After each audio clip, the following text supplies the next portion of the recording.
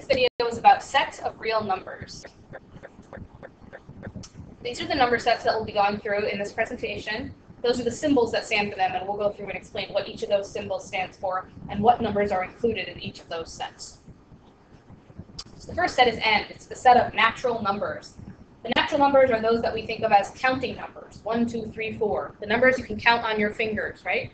And then the whole numbers is an extension of that. It consists of zero followed by the natural numbers. So I'm not including the whole numbers as its own set here. I'm just putting it as an extension on natural numbers. So natural numbers are those numbers that you first learn when you're a child, right? One, two, three, four, five. Ones you can count on your fingers. So for each of these, I'm just going to show a couple of examples and then non-examples. So examples of natural numbers would be like 30 or 2 you should be able to think of several non-examples of natural numbers. So non-example of natural numbers would be zero, right? Because zero is not technically part of the natural numbers. It is part of whole numbers, but this slide is about natural numbers. So zero is a non-example. And any negative number is a non-example. So this is not including the negatives. As well as any decimal number, like 3.5. That would be a non-example for natural numbers. The set Z is the set of integers. Now, integers are positive and negative whole numbers and zero. This is probably the most common set that we'll be talking about this year. Integers come up all the time. It's talking about the numbers 1, 2, 3, 4, 5, negative 1, negative 2, negative 3, negative 4, and 0 in the middle. So all of these numbers count as integers. This is typically how we would label a number line, right, with the integers. So examples of integers include 0, negative 256, right, 1,000, any whole number, negative or positive, and zero as well.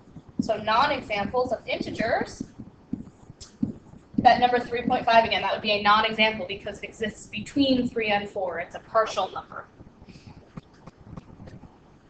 This is just a specific part of the integer set. It's the positive integers. So if you see that little plus symbol above the z, it just means positive integers. Uh, so as it's written, exactly what it sounds like. These are the positive integers, 1, 2, 3, 4. And you should notice that this is the same as the set of natural numbers. The natural numbers were also 1, 2, 3, 4, 5. So z plus and the set n are actually the same set of numbers. Q. So Q stands for the set of rational numbers. Rational numbers are those that can be written as a ratio or a fraction of two integers, as long as the denominator does not equal 0 because that would be undefined. So all whole numbers and integers are rational numbers. Any whole number or integer can be written as a fraction over 1. All decimals are also rational numbers, since all decimals can be written as fractions as well. So there are lots and lots of examples of rational numbers. Most numbers that you can think of are going to be rational numbers. So 0.25 is a rational number. Why? Because it can be written as 1 over 4, right? The ratio of two integers. Number negative 3 is a rational number. Why? Because it can be written as negative 3 over 1, which is a ratio of two integers. Almost every number that you can think of is rational. There aren't too many non-rational numbers that you're going to be familiar with, but one that I can think of is probably pi. Pi is a non-rational number because it cannot be written as a fraction, it's a decimal that never ends and it never repeats, and nobody knows all of the digits of pi. It goes on forever with no pattern. So pi would be an irrational number. You can't write it as a fraction. You can approximate it, right? It's close to 22 over 7. It's close to 3.14, but it's not actually either one of those numbers, so it is not rational. Q with a little plus sign is exactly what it sounds like. It's the positive rational number, so just don't include anything negative in this set and then q prime. So this is a brand new set. This is not part of the rational numbers. This is actually the complement, the opposite of the rational numbers. These are the irrational numbers. So the prime indicates that this is the complement of the set q, i.e. everything that is not q. So if q is rational, then q prime is irrational. These numbers never end and never repeat when you try to convert them to decimals. They can't be written as a fraction or a ratio. So pi is the one that would go on this list. And if you're familiar with the number e, that's probably you're not familiar with it yet. You'll probably learn it later on. Um, but that's another example of a constant number uh, that never ends and never repeats, and nobody knows all of the digits of e. And then non-examples would be anything that you can write as a fraction. So the number 1, which is 1 over 1. number 0, which is 0 over 1, the number 3 fifths, or 22 over 7, right? Those are all rational numbers, and so they're non-examples for this set. R is the set of real numbers. Um, probably every number that you know of is a real number. So real numbers comprise the set of everything we've talked about previously in this presentation. All of the above number sets are part of the real numbers.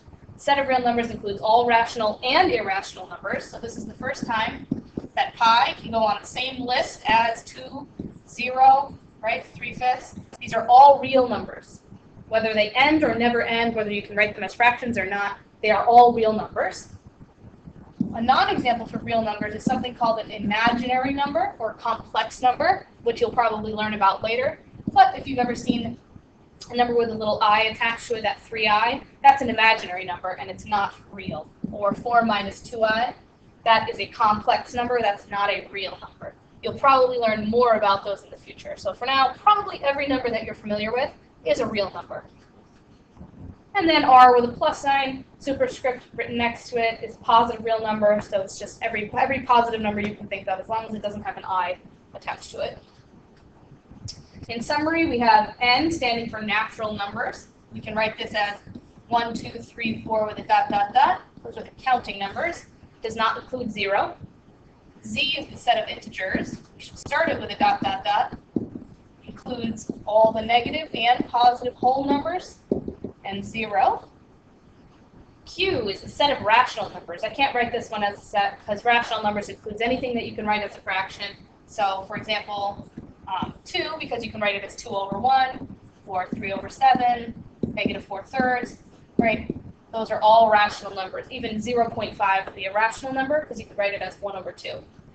Q prime is the set of irrational numbers. These are things that you cannot write as a fraction, like pi. And then R is the set of real numbers. Pretty much everything you know of is a real number. Just includes some. Probably put a negative on this list as well because real numbers can be positive, negative, they can be fractions, decimals, whole numbers, and the above. Just does not include imaginary numbers, which you probably haven't learned about yet. And that is all.